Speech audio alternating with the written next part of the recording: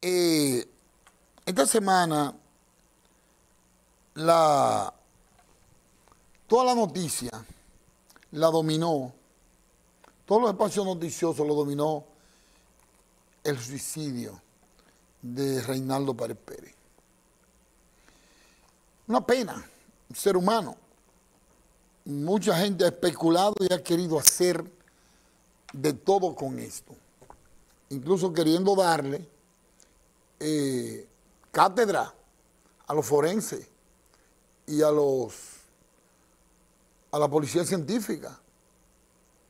Que si se que si no fue él que no tiene sangre que la pistola cayó de un lado y que no debió de caer así que es una conspiración y de que él lo iban a, llamar para los Debre el Odebre 2.0 señores cuánta falta de respeto cuánta falta de respeto no respetan ni los muertos incluso he visto comunicadores eh, hablando terrible de, Reinaldo. Una cobardía. Una cobardía. Porque porque usted no se lo dijo cuando estaba vivo. Usted debió decírselo, todo eso que usted dice. Y mira que es un comunicador que me gusta verlo porque tiene credibilidad cuando habla. Pero ese hombre se, desató a hablar mal de un muerto que yo, yo apagué. Porque como usted, ¿por qué todo eso que usted dice, que era un ladrón, que, así termina, que usted debió decírselo a él antes de él morir, antes de morir? O sea, es una falta de respeto a la memoria de un difunto. Puede haber sido lo que sea. Puede haber, esa persona puede haber sido lo que sea y su memoria debe respetarse. Pasó al mundo de los muertos. Respete lo que él no le puede contestar. Porque si usted no tuvo el coraje y el valor para decírselo en vida, no lo mate dos veces. Ahí hay una, una que tiene un programa en, las redes. ¿Qué mujer que habla sandeces? Ella ahora es eh, experta en, balística, es experta en, ciencia forense y han dicho tantas cosas. Eso de, de, publicar una fotografía, qué bajeza. Recuerdo que queda para su familia. Qué dolida debe estar su familia con eso. Y tanta hipocresía que se ha visto de personas que lo traicionaron, de personas que no iban a verlo. Incluso, incluso le voy a leer en Twitter que él puso, que él puso de lo abandonado que se sentía.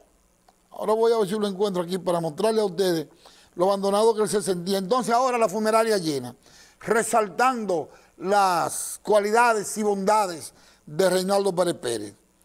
Aquí lo voy a buscar. Dios mío, ¿cómo es este mundo? Y nadie me diga a mí que yo lo estoy defendiendo. No, hay que ser justo.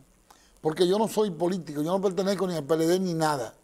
Incluso cuando él dijo que había pasado por el lodo sin y que no se había salpicado, yo lo critiqué. Dice Reinaldo en este Twitter, en vida naturalmente, si algo me ha demostrado la enfermedad por la que estoy pasando, cáncer de esófago, es que mi familia se llama Ingrid Mendoza. O sea, Solamente Ingrid Mendoza estuvo sinceramente con él. Después todos esos compañeritos, incluyendo su familia, porque él lo dice ahí, solamente mi familia es Ingrid Mendoza. Ingrid Mendoza es su esposa, o sea que ni los familiares más cercanos, estuvieron a su lado en esa, en esa terrible enfermedad que sufría. Pero lo que la gente no sabe es que donde él compró venden, o sea que ese supermercado está lleno.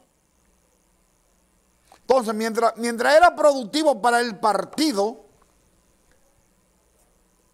él era visitado y andaban con sus amigos, con él, eh, hacían fiesta, pero cayó en la desgracia, Dios permitió que le diera una enfermedad terminal, que muy pocos se salvan, eh, hay muy pocos sobrevivientes. O sea, cuando, cuando usted le dicen cáncer, ya la gente piensa inmediatamente muerto. Hay quienes se salvan, hay muchísimos sobrevivientes. sobrevivientes. Ah, incluso yo vi una entrevista de una franco-magorizana, que es una mujer muy decente, muy decente, que es sobreviviente, PLDista ella. Yo vi una entrevista muy, muy, muy, muy buena de ella y ella es sobreviviente. Pero que esto le da a cualquiera. Que el de fue terrible, que fue en el esófago, como el de páncreas. Cáncer de páncreas, de esófago, de estómago, son terribles. Pero le da a cualquiera. Entonces, son tan hipócritas que van a la funeraria a resaltar las cualidades de ese líder democrático, de lo mucho que aportó al país. Sin embargo, no van a verlo en su lecho de enfermo. Por algo, por algo su esposa no permitió que le fueran hechos los honores en el Senado de la República. Porque sabe que todo eso iba, iba a ser hipocresía. Y ella no lo permitió. No, no va a ser. Eso es un show más. Vamos a dejarlo que descanse en paz. Sin show. Por algo no lo permitió. Pero vivimos en el mundo de los hipócritas. Tanta gente hipócrita hay en este mundo.